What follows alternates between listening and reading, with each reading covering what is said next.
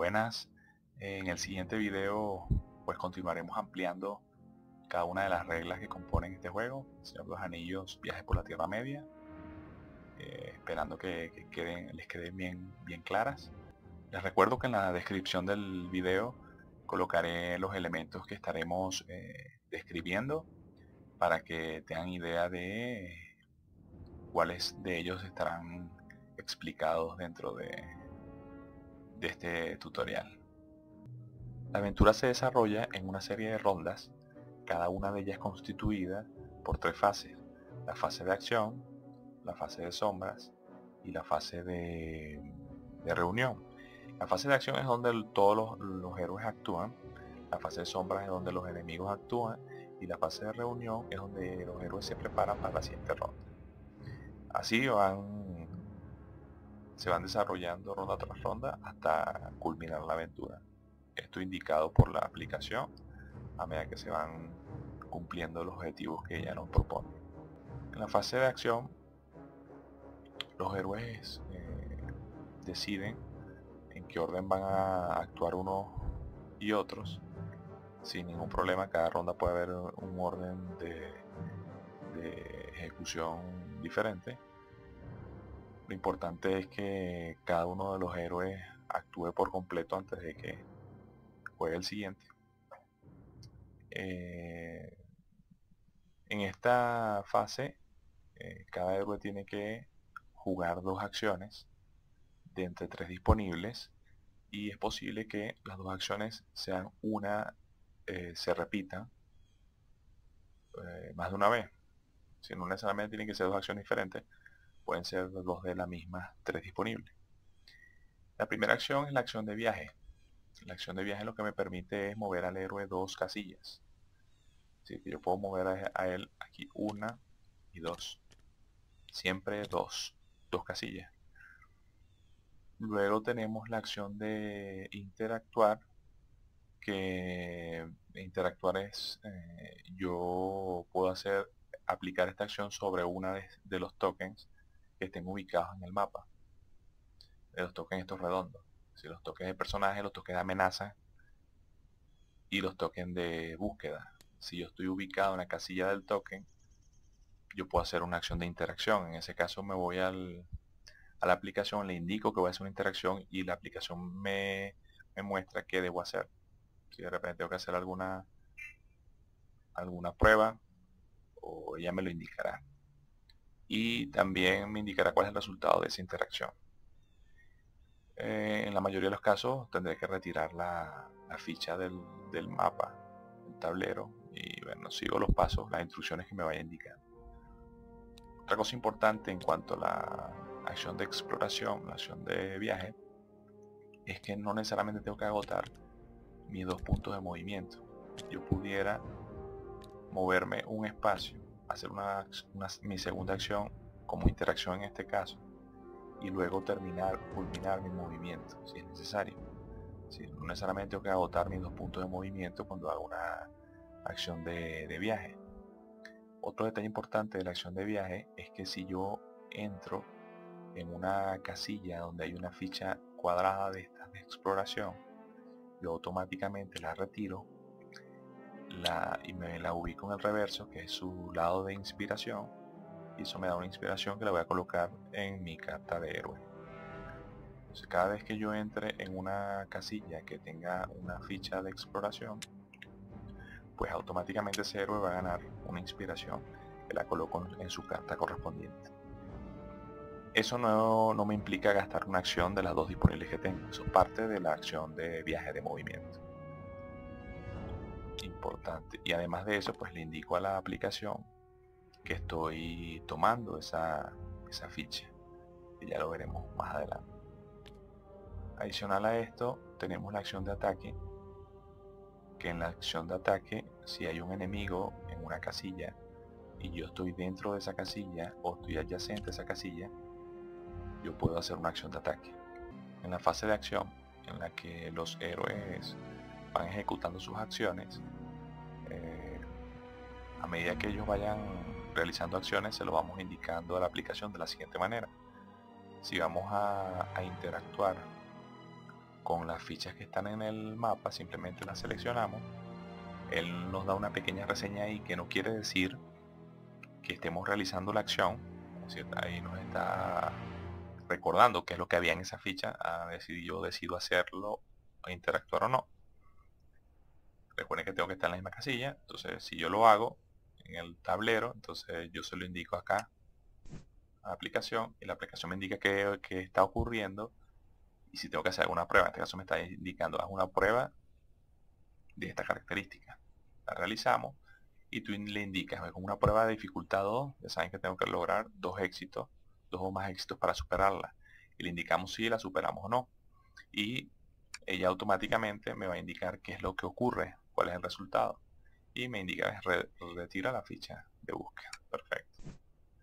Además me, me, podría yo recibir eh, objetos durante la, aventura.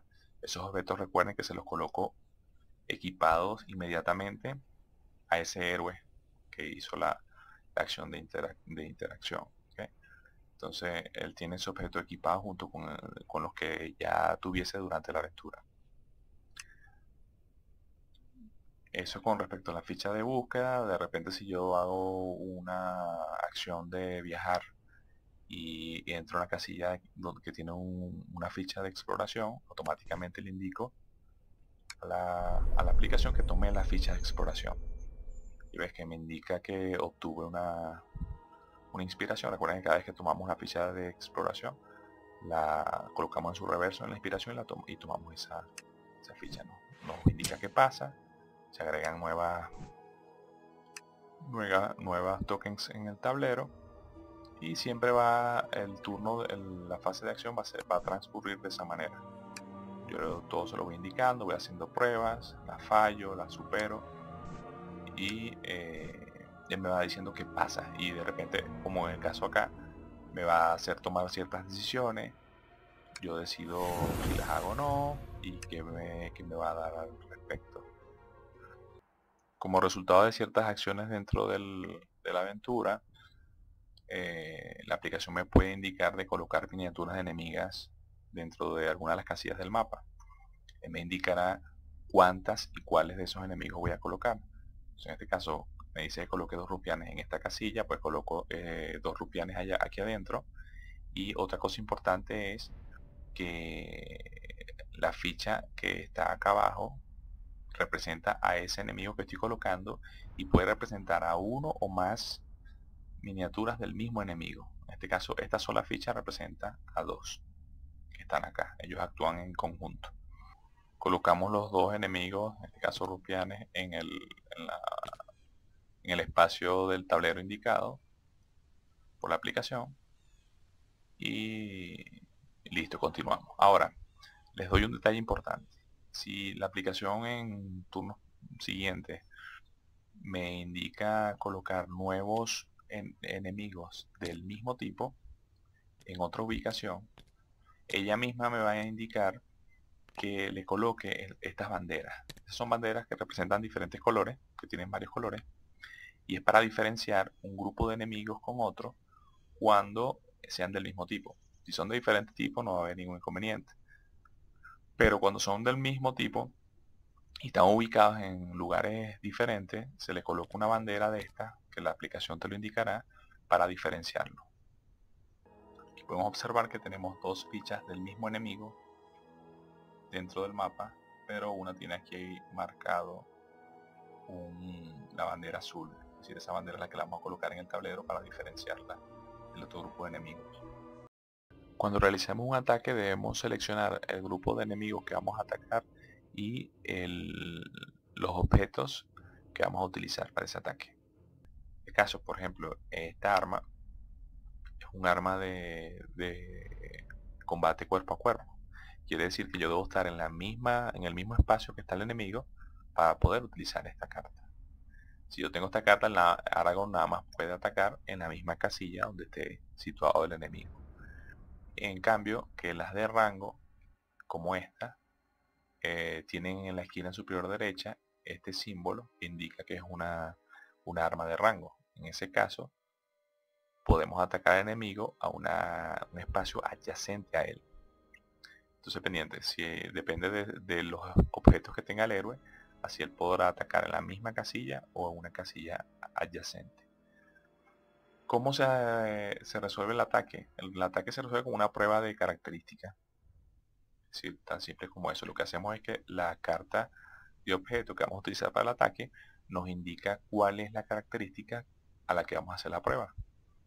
En este caso, ubicamos esta característica en el héroe correspondiente y ahí me va a indicar cuántas cartas debo retirar de mi mazo de habilidad para llevar a cabo el ataque. Entonces yo saco mis cartas de, habilidad, en este caso 3, y igualmente como expliqué en la, sección de, de pruebas de características, igual se va a hacer acá. la diferencia es que cada uno de los objetos que vamos a utilizar para el ataque, en sus efectos me indica de qué forma yo voy a utilizar los éxitos.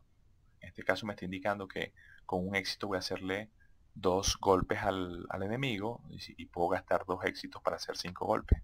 Si tuviese tres éxitos, pudiera utilizar estos dos efectos en simultáneo para acumular más golpes. Eh, hay algunos objetos que me dan efectos adicionales.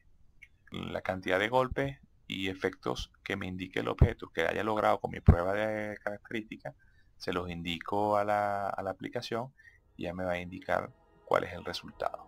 Si el héroe tiene equipada dos, objetos de una mano, como este el caso, y ambos comparten eh, la misma característica, el símbolo de la misma característica, a la hora de hacer la prueba de, de característica para realizar el, llevar a cabo el combate, podemos elegir los efectos de ambas, de ambas cartas de, objeto. No nos tenemos que limitar a una de ellas únicamente. Puedo usar la de los dos o la de una de ambas sin ningún inconveniente. Al ejecutar una acción de combate, en la aplicación elegimos cuál es la ficha de enemigo que representa el grupo de enemigos o enemigo que estamos atacando.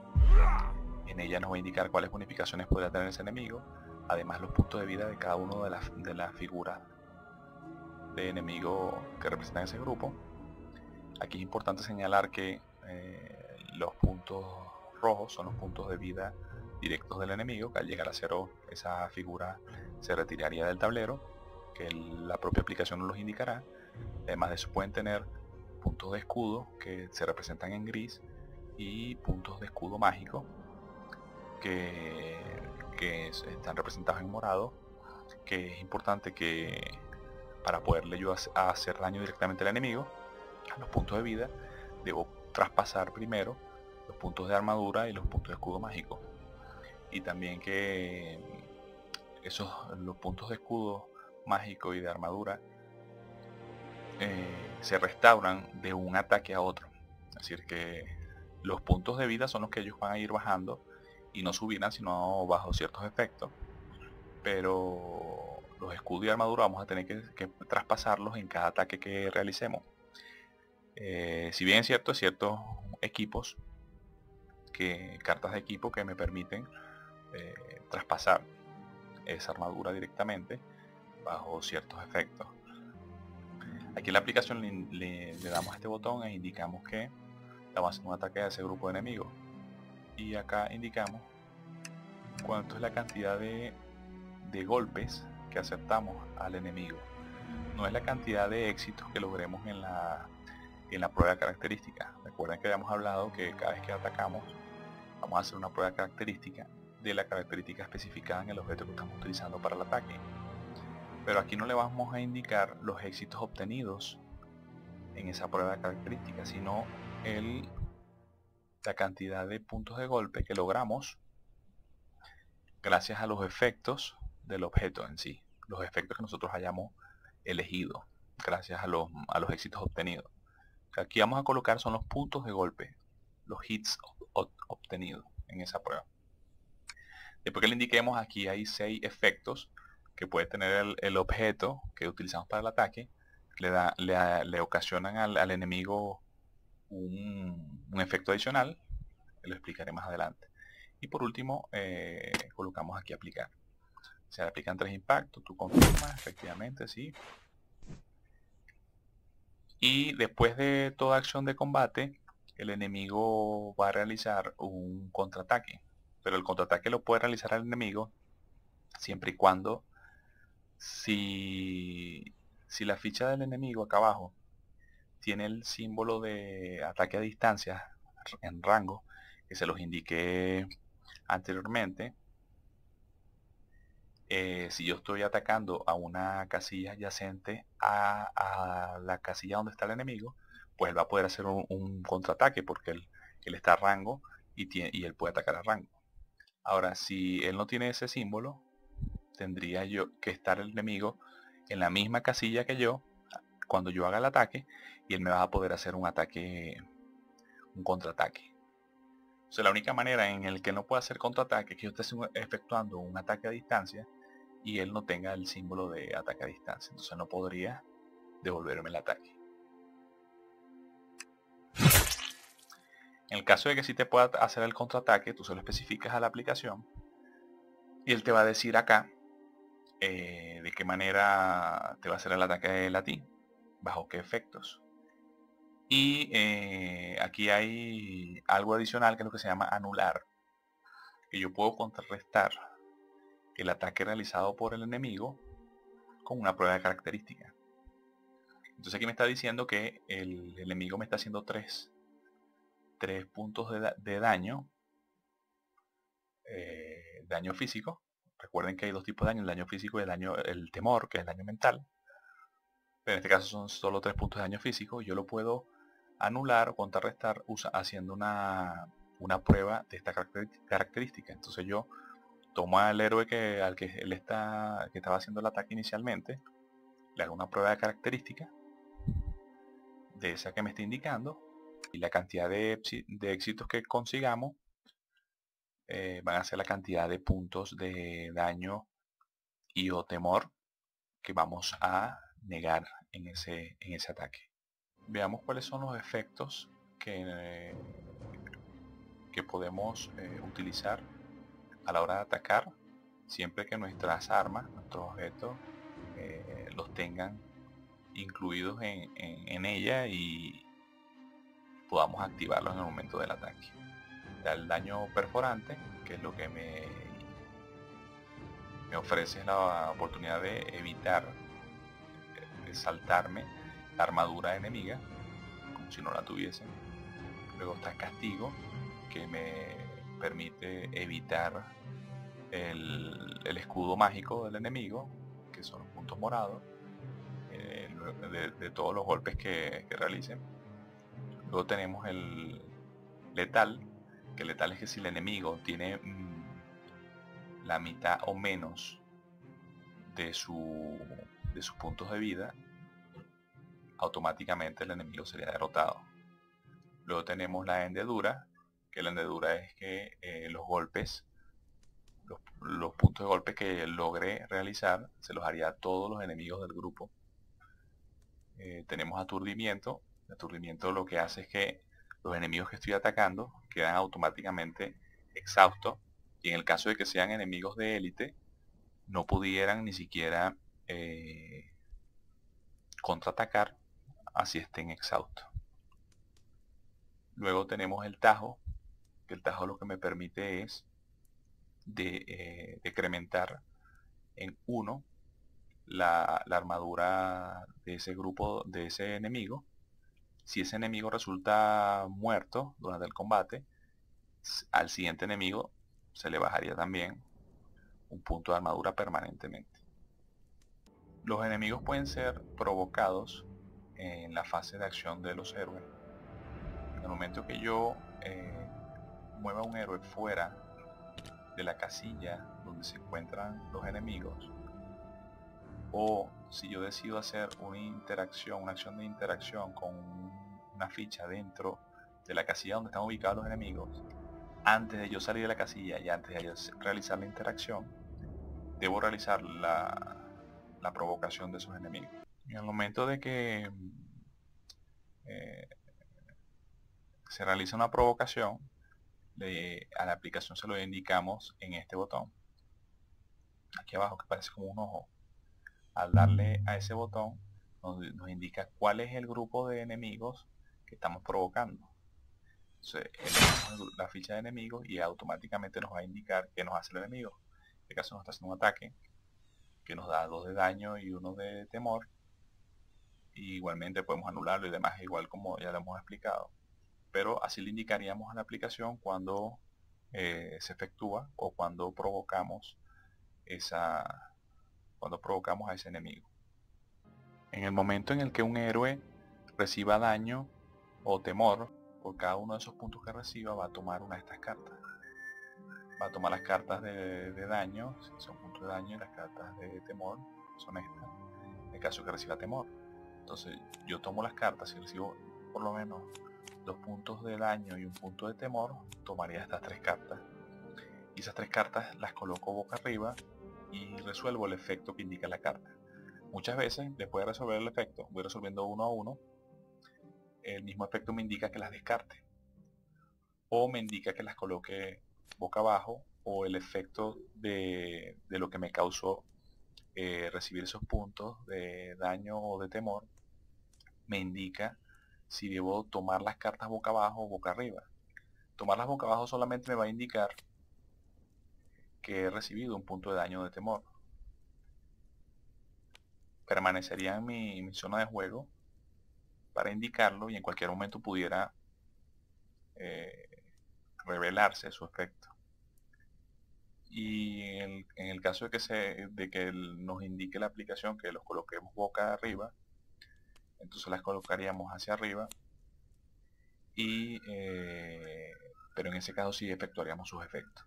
Si el efecto no me indica que las descarte, entonces quiere decir que el efecto va a quedar permanente en el, en el héroe hasta que esas cartas de algún modo sean retiradas de mi zona de juego. Como podemos ver en la ficha, en la carta de héroe, él tiene un límite. Si yo llego a obtener tantos puntos, tantas cartas de daño como su límite, o tantas cartas de temor como su límite, él tiene que realizar una prueba de resistencia. Si él llega a ambos límites simultáneamente tendría que hacer dos pruebas de resistencia, que explicaremos a continuación. Para realizar la prueba de resistencia, que es cuando se nos acaban, se nos agotan los puntos de temor, del o llegamos más bien, llegamos al límite de puntos de temor o puntos de daño que puede recibir el héroe, nos ubicamos aquí en la aplicación y le damos al botón de grupo, de party, elegimos el héroe quiere ser que, con el que vamos a hacer prueba de resistencia que nos indica si confirmar. Entonces tenemos que especificarle si la prueba de resistencia es debido a que llegamos al límite de miedo o de daño. Aquí lo elegimos por ejemplo miedo y hacemos la prueba que nos indica con la dificultad que nos indica indicamos si fallamos o no qué pasa si fallamos o no nos va a indicar cuáles son los efectos si también tendríamos, eh, como les había comentado, si llegamos al límite de ambas en simultáneo, tanto la de daño como de temor, tendríamos que hacer una nueva prueba de resistencia, pero en función al otro. Y eh, no olviden realizar eso cada vez que lleguen al límite de uno de, de esos dos puntos. Cuando nuestro héroe falla la prueba de resistencia, automáticamente lo tenemos que retirar del, tablero de juego y el resto de héroes tiene hasta la siguiente fase de sombra para culminar, para lograr el objetivo principal de la aventura y acabarla. De no ser así, automáticamente eh, el grupo perdería la, aventura. Cuando todos los héroes del grupo hayan realizado sus sus acciones entonces le indicamos aquí la, la pantalla en la parte inferior derecha de la aplicación le indicamos que hemos finalizado la fase de acción confirmar y entonces ahora vendría lo que es la fase de sombra que es cuando actúan los enemigos y aumenta la amenaza de eh, en contra de los, de los héroes. Como pueden ver acá, dice que la amenaza aumenta en 7. Está una barra de amenaza aquí arriba. que cada vez que llegamos a una fase de, de, de sombra, ella va a ir aumentando. Y eso es lo que nos va es apurando en resolver los objetivos que tenemos en la, en la aventura. Cuando esa barra de amenaza llegue a los puntos indicados acá, te va a indicar unos, unos valores. Si tú llegas a esa cantidad, van a ocurrir ciertos efectos, ciertos eventos dentro de la aventura. Y la aplicación te va a dar una serie de instrucciones en, esa, en ese momento. Te explicar qué es lo que pasa o qué debes hacer. Importante que cuando se llega al límite máximo de, esta barra de amenaza, en este ejemplo el 64, pues automáticamente los héroes eh, fallan la aventura si no han cumplido el objetivo. El aumento de esta barra de amenaza lo calcula automáticamente la aplicación, pero para que tengan idea de cómo de rápido sube y por qué razones, él es calculado en base a la cantidad de héroes que estén jugando, si depende de cada, cada figura de héroe que esté en la aventura, son dos puntos de amenaza que subirán en la fase de sombra, más un punto de amenaza por cada ficha de amenaza que esté en el tablero, que en este caso no hay, pero es una ficha roja. Si la aplicación nos indica colocarla y estamos en la fase de amenaza y aún está esa ficha en el tablero, pues nos da un punto más a esa amenaza. Y por cada ficha de, de loseta no explorada en el tablero también, en este caso nos dio 7 porque eh, el ejemplo lo estamos haciendo con 3 héroes. Entonces serían 6 puntos de amenaza más uno de esta ficha de exploración. Son los 7 que subió. Entonces tienen que tomar en cuenta mientras más héroes sean, mientras más fichas de amenaza estén en el tablero y más fichas de terreno no explorado, esta barra va a ir subiendo más rápido.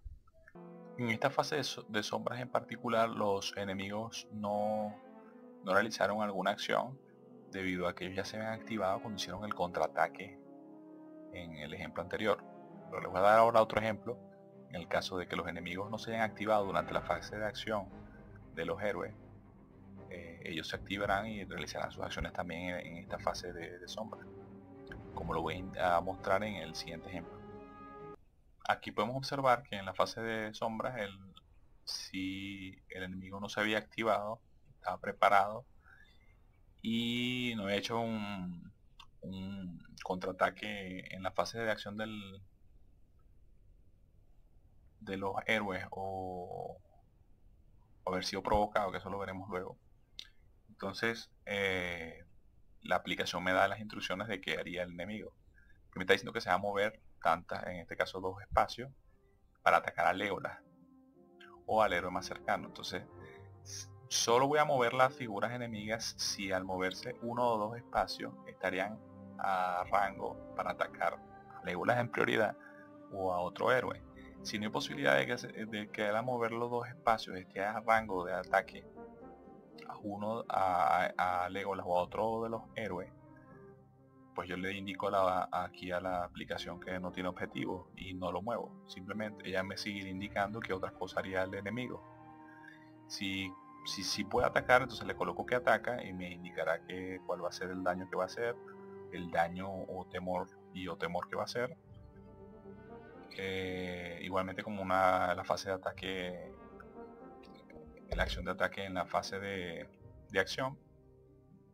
Si ponemos aquí el ejemplo y colocamos que no tiene objetivo, él me va a decir, ah bueno, entonces se mueve cuatro casillas hacia el héroe más próximo. Entonces veo cuál es el héroe más próximo y lo muevo cuatro casillas. Simplemente no atacaría, pero se movería más. Eh, la aplicación me va a indicar cuáles acciones van a ocurrir, pero siempre tiene, si me manda atacar, tengo que moverme solo si con ese movimiento logro un ataque. Si no, simplemente no la muevo y veo cuáles son las próximas instrucciones que me va a dar em, que pues e, ella me las irá indicando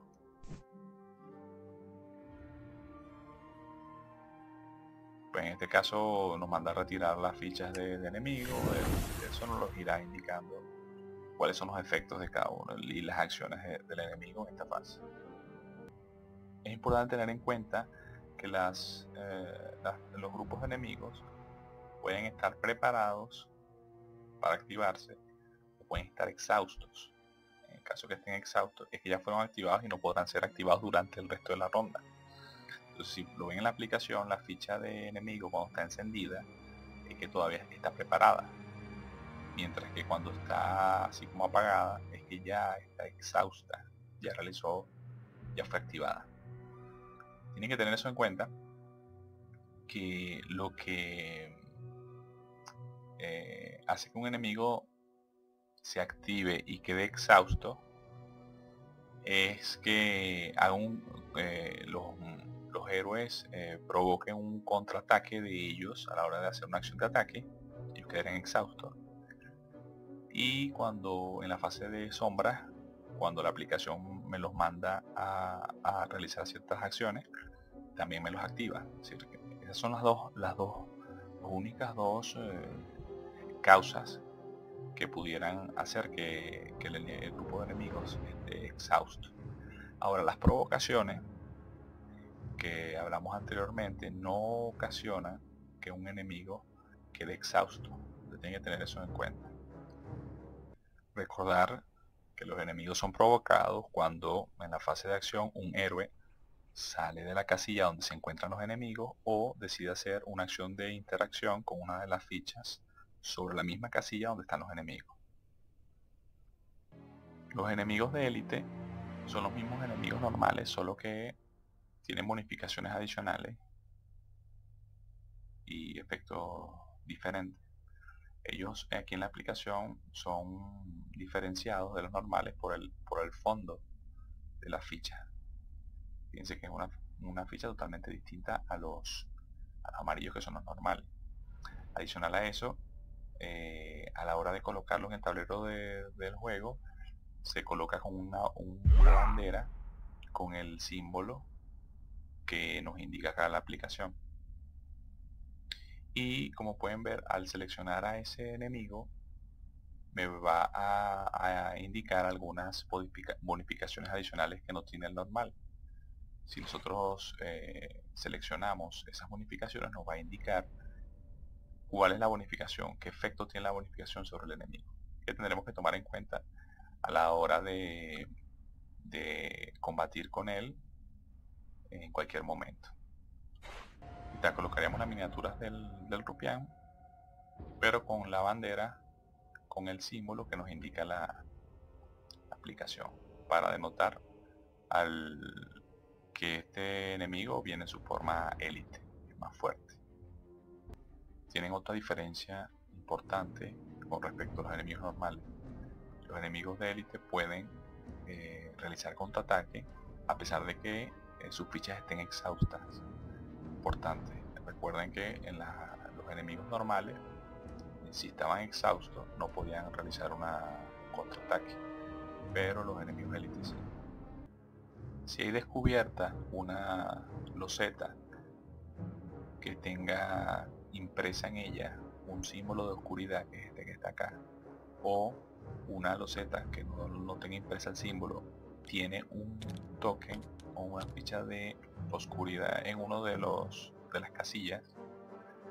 Y además de eso por al menos un héroe esté dentro de esas casillas va a ocurrir una, un paso de oscuridad en la fase de, sombra que no los indicará la aplicación.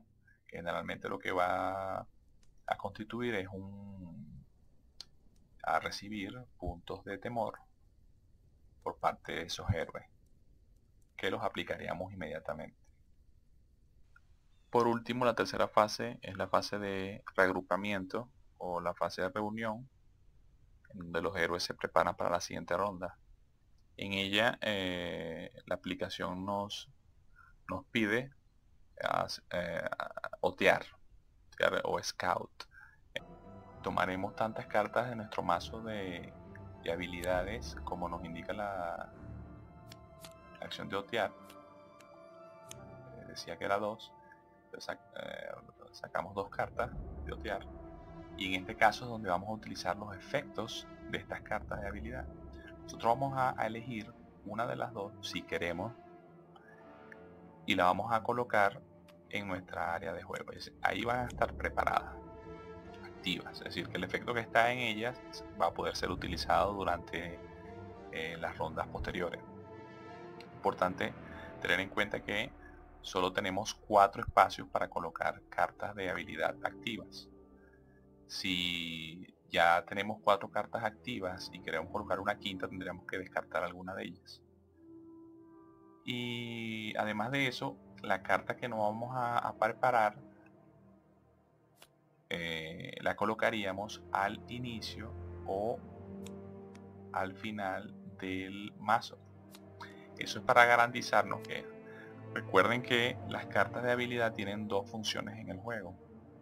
Una es colocarlas en esta fase preparadas para usar su efecto y otra es que a la hora de hacer pruebas de habilidad eh, la simbología que indican en ellas me va a permitir eh, pasar o no las pruebas de característica. Entonces, si la carta que obtenemos aquí es una carta de éxito, si la coloco en la parte superior del mazo, tengo la garantía de que en la siguiente, en la siguiente fase de acción, en las pruebas de características, pues ya tendré una carta favorable a mí. Ahora, si tengo cartas desfavorables, digamos una carta de que no me, no me da eh, éxitos, las colocaría de repente al final de la, del mazo porque me conviene que me salga, que no me, que no me salga o que tenga menor probabilidad de que, de que me aparezca durante la fase de acción.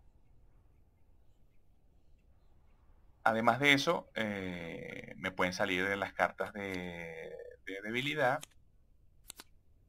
que las cartas de debilidad también pudiera colocarlas preparadas así como las habilidades. Por ejemplo, si me llega a salir en el lotear, me sale la carta de habilidad, de debilidad, yo puedo colocarla preparada acá. No me va a dar ningún, ningún beneficio porque no tiene efecto de por sí, pero voy a garantizar de que no me salga en los momentos que esté haciendo una, una prueba de, de característica durante la ronda, no me va a salir eh, la debilidad. Otro, otro punto importante que no les, les comenté que a la hora de, sacar las cartas aquí en, en, el mazo de habilidad hay que primero tomar todas las cartas que estén en, el, en la pila de descarte de la ronda anterior colocarlas dentro del mazo y barajarlo antes de sacar las cartas. Ya luego de culminar la fase de reagrupamiento ya eh, iniciaríamos nuevamente la siguiente ronda con la fase nueva de acción. Y así sucesivamente hasta que eh, logremos eh, culminar el objetivo principal de la aventura y la aplicación nos indique que hemos acabado. O por, por el contrario, hayamos fallado, bien sea porque la barra de amenaza llega al máximo o porque alguno de nuestros héroes eh, muere y falla la prueba de resistencia. En la aplicación, en el botón de grupo, acá abajo a la izquierda, nos permite conocer información acerca de, nuestros héroes y de nuestro, grupo. Eh, por ejemplo, aquí tenemos lo que es la erudición, que es el lore, lore que vamos reuniendo, que es lo que nos permitirá ir eh, mejorando el equipo que llevamos. En la crónica tenemos un historial de todos los mensajes que nos ha mostrado la aplicación en cada una de las rondas de juego. En los objetos tenemos los objetos que tiene equipado cada uno de los héroes individualmente. Y además ah, en esta sección tenemos los eh, objetos del grupo que no se están usando en este momento, pero que tienen a su disposición el grupo para equiparse entre aventuras. Bueno, de esta manera culminamos este video eh, habiendo detallado ciertos elementos del juego. Eh, los espero en el próximo, en donde continuaremos eh, explicando más de las reglas tanto básicas como avanzadas. Y recuerden que pueden dejar sus dudas o si de repente me equivoqué en algún, explicando alguna regla, lo pueden detallar allí en el espacio de comentarios. Si les gustó el, video no olviden dar su me gusta y suscribirse para que sean notificados cuando suba los siguientes videos. Muchas gracias.